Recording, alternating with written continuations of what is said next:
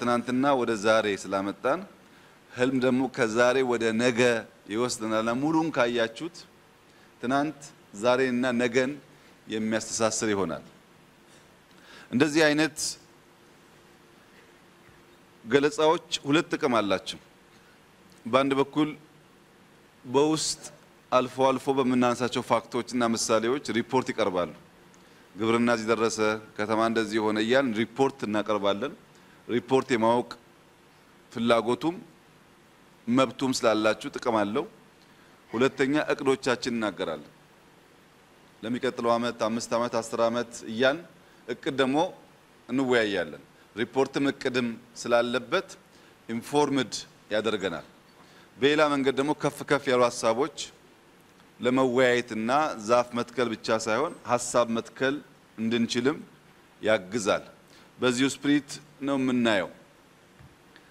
ዛሬ ለመጀመሪያ ገለጻ የተዘጋጀላችሁ ርዕስ ህልምና ትልም ነው። ማለምና መተለም። ህልምና ትልም ሲባል ድሪምና ስትራቴጂ እንደማለት ነው። አንድ ሰው መልካም ህልም ቢኖረው ያን ህልም የሚጨብጥበት የሚተገብርበት ስትራቴጂ ከሌለው ህልም ሆኖ ይቀራል። ህልምንና ትልምን ማገናኘት ያስፈለገበት ምክንያት የምናልመው አርቀን በማየት ነው። አርቀን በማየት እናልማለን፣ አልቀን በመስራት እንተገብራለን። አርቆ ማየትና አልቆ መስራት ካልተገናኙ ህልምና ትልም አይሰምሩም። ብዙዎች ያልማሉ፣ ያቅዳሉ፣ ይመኛሉ።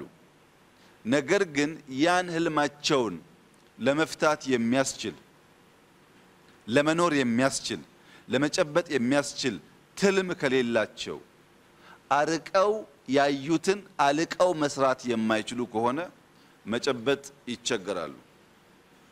ህልም ላይ ያልተጋሩ ሰዎች ስራውን ሰርተው ቢያመጡትም ሪፍረንስ የላቸው፣ መለኪያ የላቸው።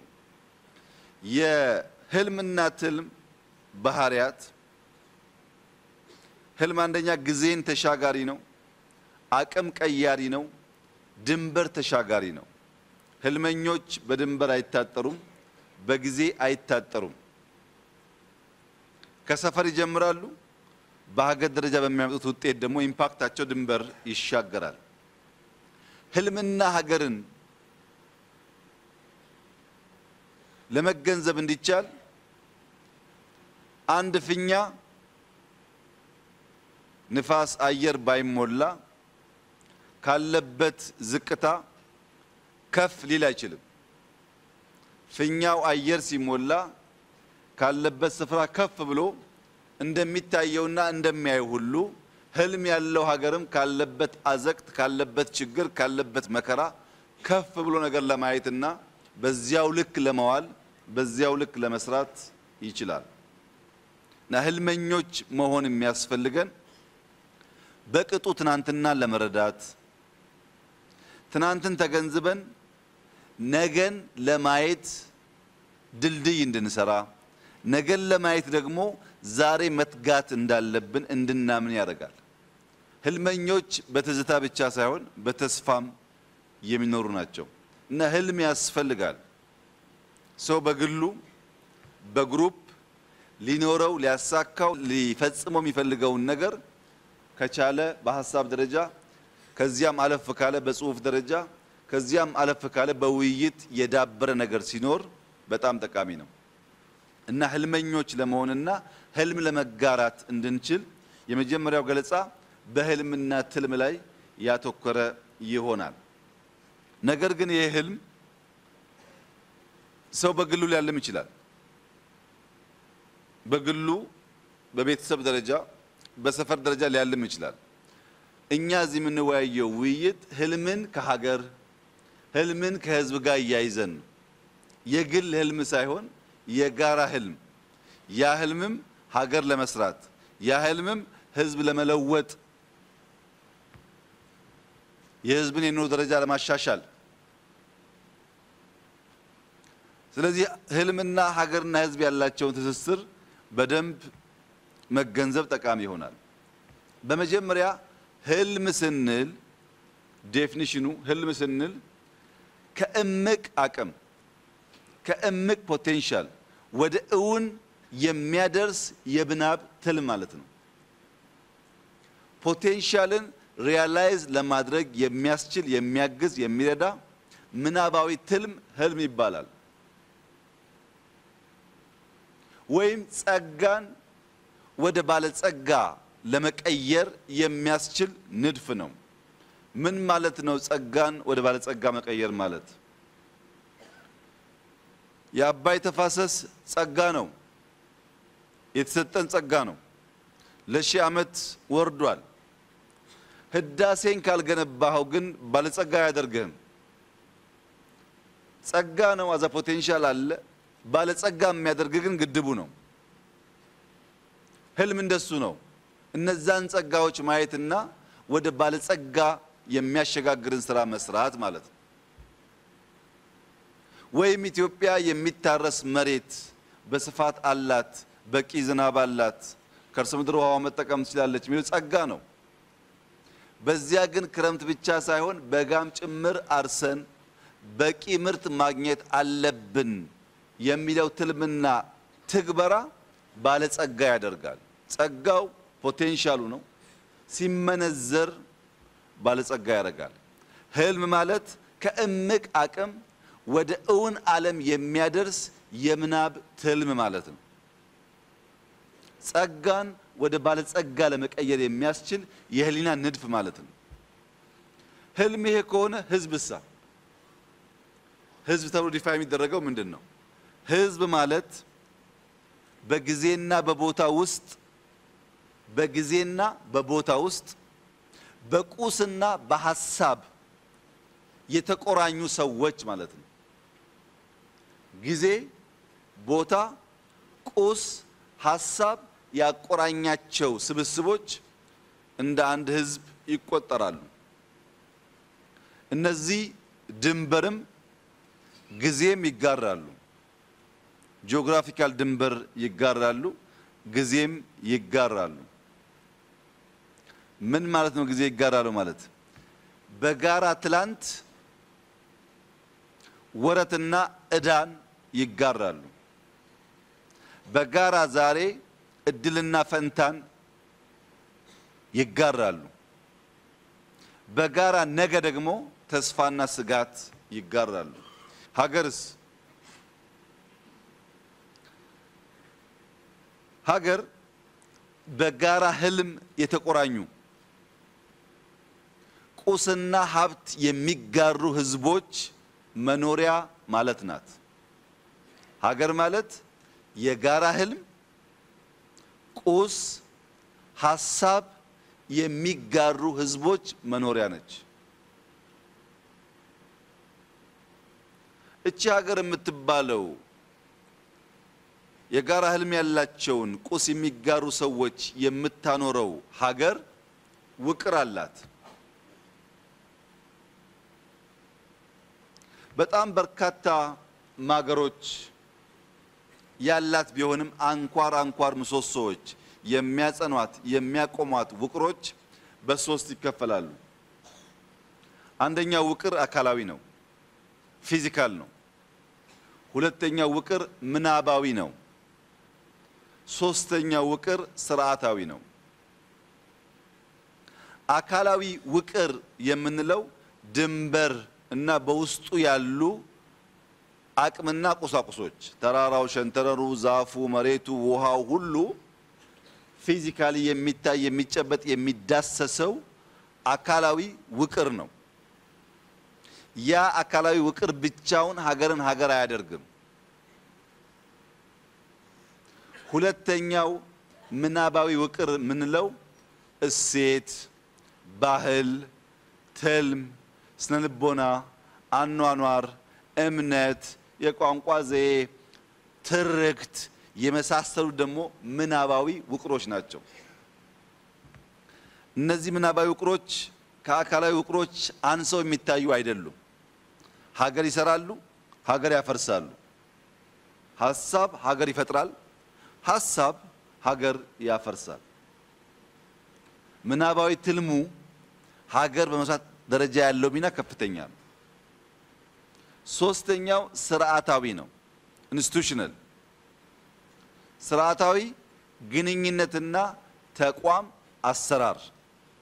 ለምሳሌ በአንድ መንግስት የነበረ army፣ በአንድ መንግስት የነበረ ውጭ ጉዳይ፣ በአንድ መንግስት የነበረ የሆነ ተቋም ሲፈርስ እንደ አዲስ እስኪሰራ ድረስ ያን እሳቤ የሚያገለግል ውቅር የለም ማለት ነው እና ሀገር ስንል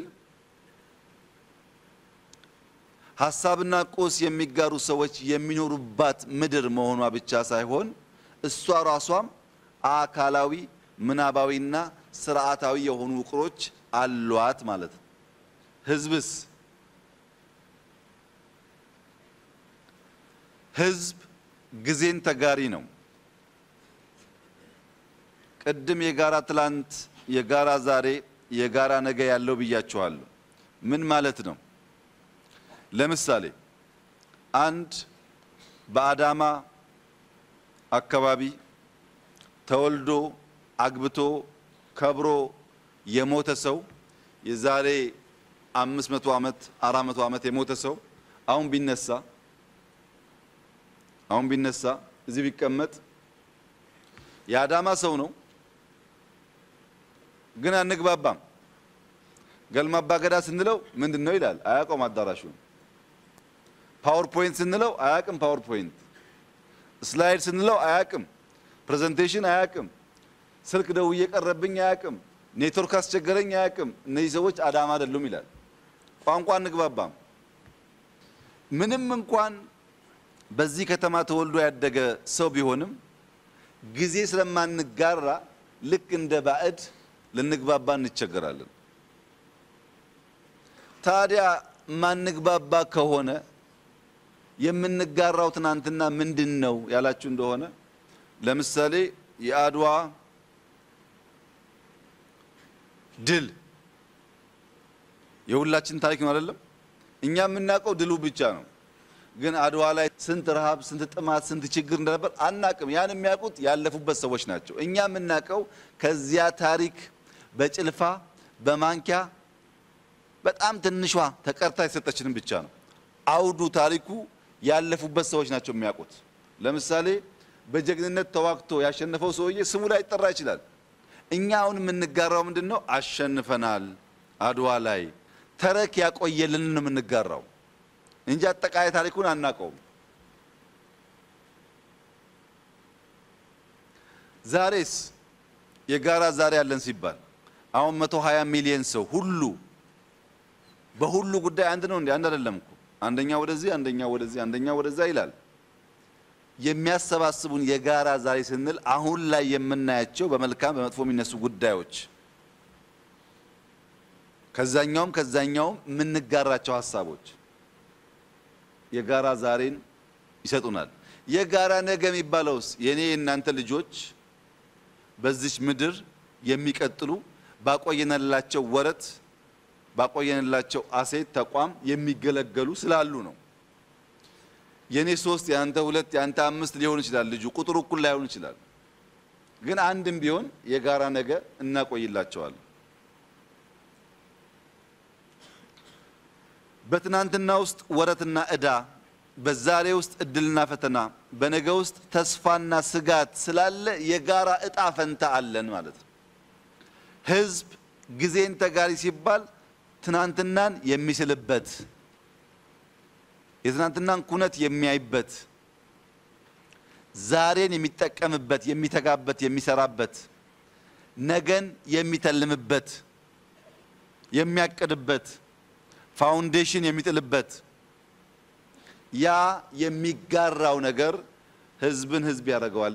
የጋራ እጣ ፈንታ ያላቸው ጊዜን የሚጋሩ ሰዎች ናቸው ህዝብ የሚባሉት። አሁን ወደ ዋናው ጉዳይ እንግባ። ሀገርን፣ ህዝብን፣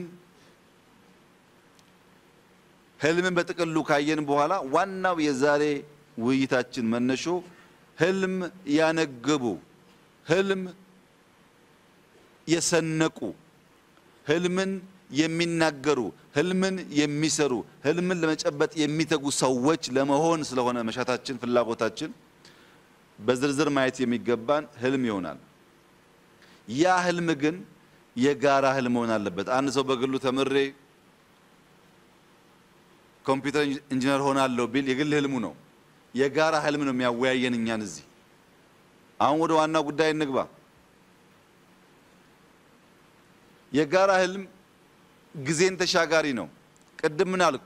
ህዝብ ጊዜን ተጋሪ ነው። የጋራ ህልም ግን ጊዜን ተሻጋሪ ነው።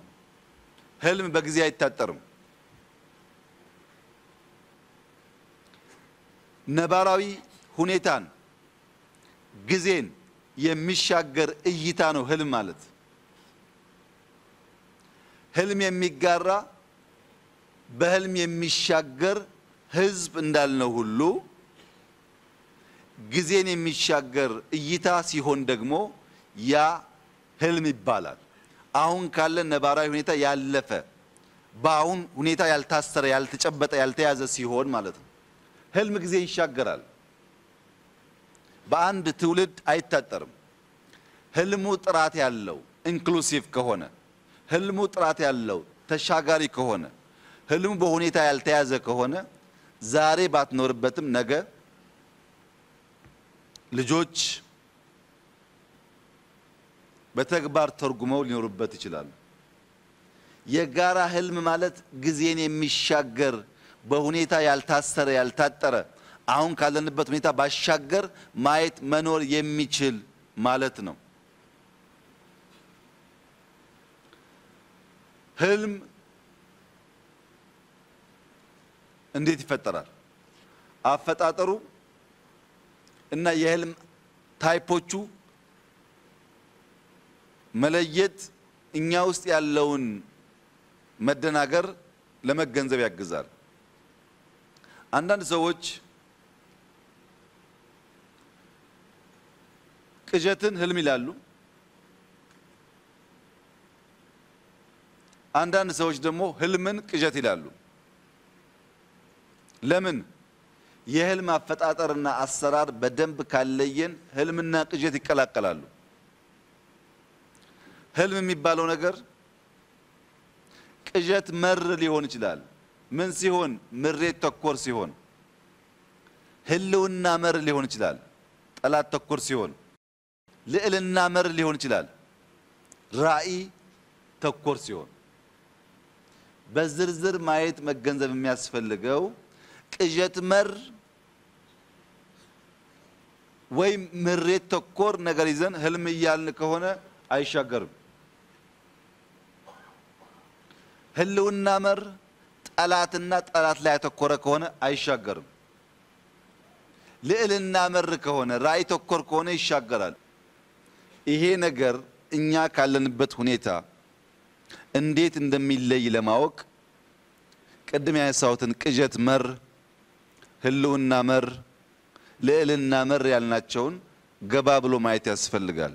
ቅዠትን ከህልም መለየት ስንችል ያ ህልም ተሻግሮ ልጆቻችን የላቁ የበቁ እንዲሆኑ ስለሚያስችል ቅዠት መር የሚባለው ትልም ስሌቱ ስሆት ነው። ትክክለኛ ሂሳብ አይደለም። ጥላቻ፣ ፍራቻ፣ መጠፋፋት ነው እሳቤው። በፍራቻ በጥላቻ በስሜት ያለ ነገር ቅዠት ነው። ቅዠት ደግሞ አይፈታም፣ ለፈቺም አስቸጋሪ ነው። ቅዠት አይኖርም። ቅዠት በትጋት አይጨበጥም። ቅዠት ብዙ ጊዜ የሚፈጠረው ያለፈውን ለመድገም ወይም ትናንትናን ለማረም ነው እንጂ ነገን ለመፍጠር አይደለም።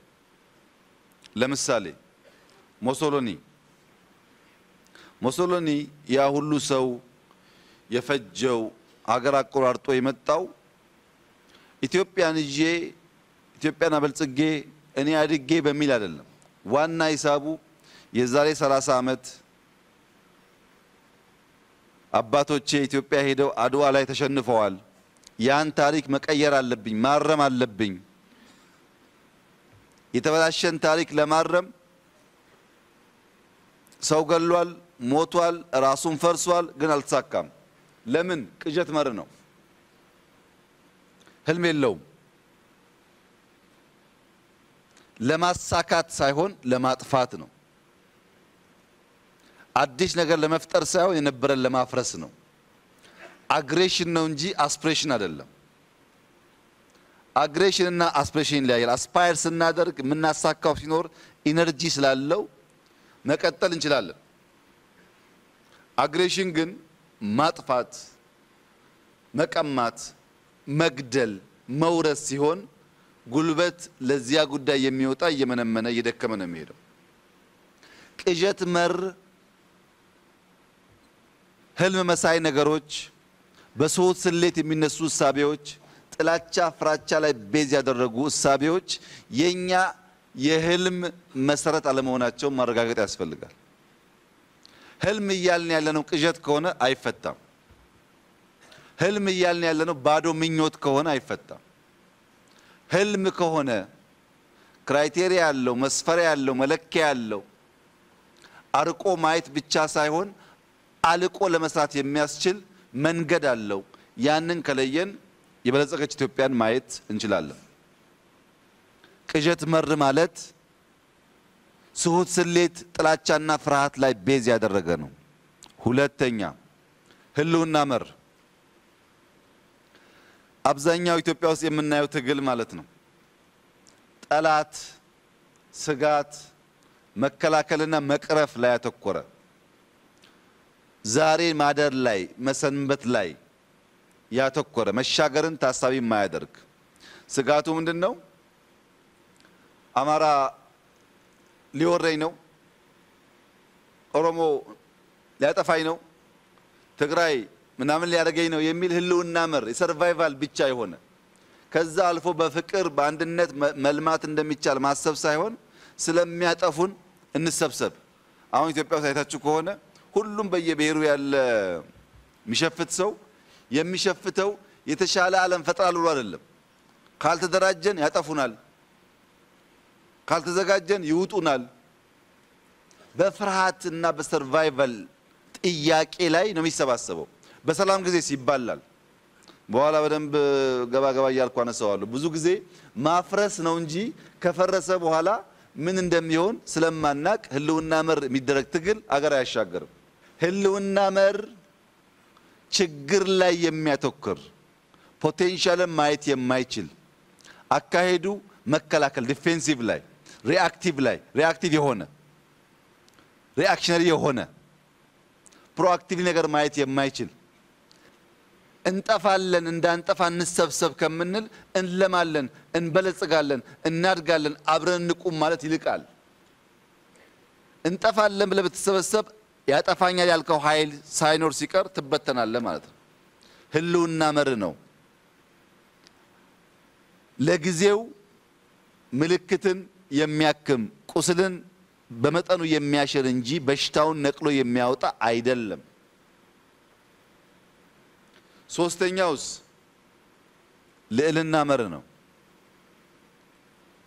ልዕልና መር አስቀድሞ ማየት፣ አልሞ መስራት፣ ነገን መወሰን፣ ነገን መፍጠር፣ መቅረፍ ሳይሆን መንቀል፣ ችግርን temporary መቅረፍ ሳይሆን ከስሩ መንቀል፣ የችግር ጓያን መንቀልና ዳግም እንዳያንሰራራ እንዳይበቅል ማድረግ ራዕይ መር ነው።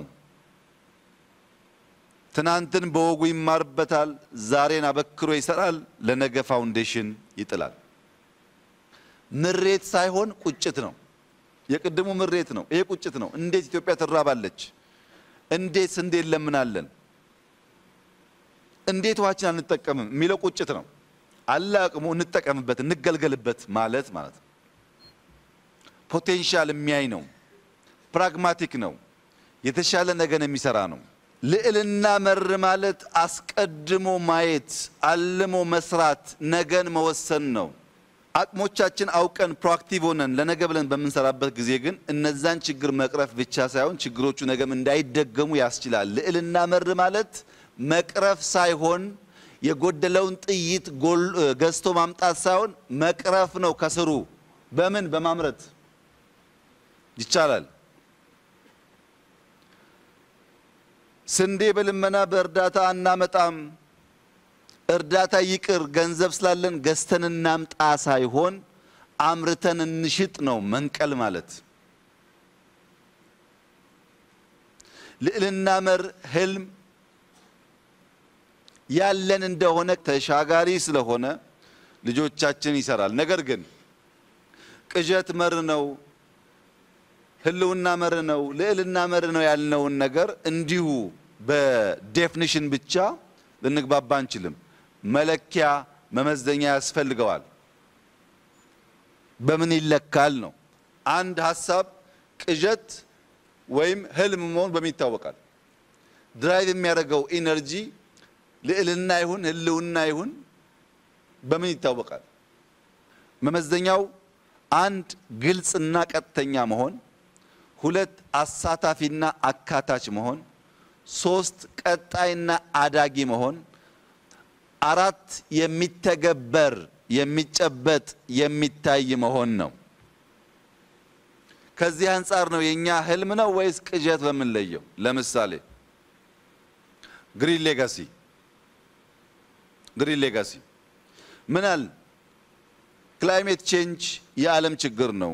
climate change ኢትዮጵያን ይጎዳል። ድርቁ፣ ጎርፉ እያሰቃየን ነው።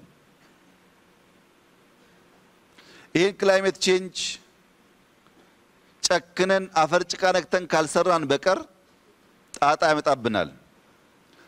climate change ችግር ነው፣ climate change መከራ ያመጣብናል ካልን በኋላ ሁለተኛው ለህዝቡ ገለጽን። የኢትዮጵያ ህዝብ በሚሊዮን የሚቆጠር ባይሳተፍ እኛ እዚህ ያለን ሰዎች ብናስብም አናሳካውም። ህዝቡ እንዳለ ወጣ፣ ተሳተፈ። ቀጣይነት ደግሞ ስድስት ዓመት አልተቋረጠም። በየዓመቱ እያደገ ነው የሄደው። ተተግብሯል። ውጤቱን ሰው እያየው ነው። ከአራት ቢሊየን ከአምስት ቢሊየን ዛሬ አርባ ቢሊየን ችግኝ ተክሎ በዓለም the biggest afforestation ያረጋገጠ ንቅናቄ ሆኗል። ለምን? ህልም ነው፣ ቅዠት አልነበረም። ያሳትፋል፣ ይተገበራል፣ ይቀጥላል፣ ይታያል። ስንዴ ብትወስዱ፣ መዋዕለ ሕፃናት ትምህርት ቤት ብትወስዱ፣ ኮሪደር ብትወስዱ፣ የጀመርናቸው ጉዳዮች ሁሉ ይጀመራሉ፣ አሳታፊ ናቸው፣ ይጨበጣሉ፣ ይታያሉ። ሰው እየጨመረ እየጨመረ እየጨመረ ነው የሚሄደው። ህልም የሚታይበት አንዱ መለኪያ ይሄ ነው። ህልም ጥራት መመዘኛ ከሌለው ግልጽ፣ ተተግባሪ፣ ቀጣይነትና አዳጊ ካልሆነ ህልምና ቅዠት መለየት ያስቸግራል። ይሄ ህልም በመመዘኛ በመለኪያ ቢለይም የወል መሆኑን መታየት አለበት። የጋራ ህልም የአንድ ሰው የግል ህልም ከሆነ ወይም የከፍተኛ አመራር ህልም ከሆነ ወይ የብልጽግና ብቻ ከሆነና መላው የኢትዮጵያን ህዝብ ካልያዘ ዋጋ የለውም። ህልሙ የወል መሆን አለበት፣ የጋራ መሆን አለበት። ለምን? የጋራ ሲሆን አዎንታዊ መልካም